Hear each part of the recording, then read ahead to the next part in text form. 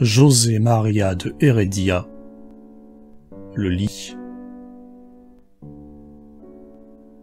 Qu'il soit encourtiné de brocart ou de serge, triste comme une tombe ou joyeux comme un nid, c'est là que l'homme naît, se repose et s'unit.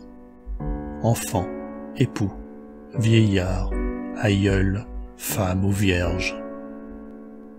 Funèbre ou nuptial, que l'eau sainte l'asperge, sous le noir crucifix ou le rameau béni, c'est là que tout commence, et là que tout finit, de la première aurore au feu du dernier cierge.